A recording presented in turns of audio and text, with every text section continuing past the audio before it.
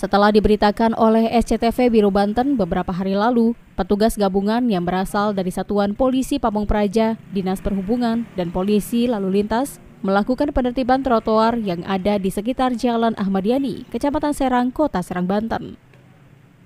Meski berada di pusat kota dan sering digunakan para pejalan kaki untuk berlalu lalang, namun, trotoar di tempat ini banyak disalahgunakan sebagai tempat usaha dan lokasi parkir kendaraan roda 2 dan roda 4 oleh sejumlah oknum.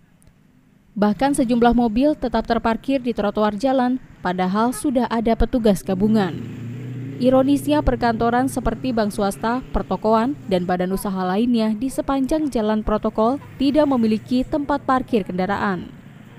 Penertiban yang dilakukan oleh petugas ini berdasarkan Peraturan Daerah Kota Serang Nomor 2 Tahun 2010 tentang ketertiban, kebersihan, dan keindahan.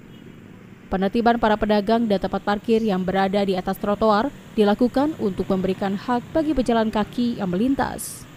Dalam kegiatan tersebut, petugas meminta kepada pedagang untuk memindahkan barang dagangan mereka. Petugas juga meminta kepada pemilik kendaraan untuk tidak memarkirkan kendaraannya di atas trotoar. Sayangnya petugas tidak menindak tegas bagi para pelanggar. Jelas kalau izin itu tidak pernah mengeluarkan izin. Selama ini kita selalu bukan hari ini aja kita lakukan penertiban, kita sering. Tapi ya tadi itu pada saat kita tertibkan mereka ke belakang dulu pindah setelah kami nggak ada masuk lagi. Ya itulah yang menjadi kendala kita semua.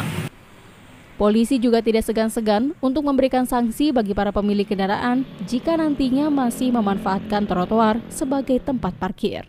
Tidak, tidak boleh, sebenarnya tidak boleh, sudah ada peraturannya. Untuk bangun jalan tidak boleh ada parkir karena mengganggu arus lalu lintas.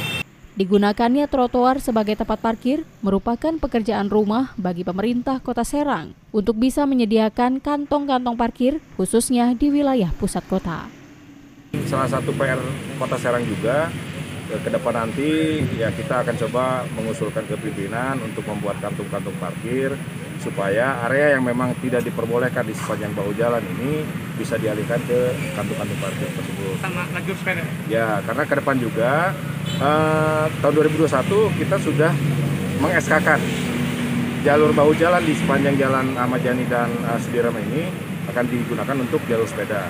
Diharapkan dengan penertiban yang dilakukan oleh petugas akan bisa mengembalikan fungsi trotoar sebagai tempat berjalan kaki bagi para pejalan kaki. Ariel Maranus dan Nokian Rianto melaporkan dari kota Serang, Banten.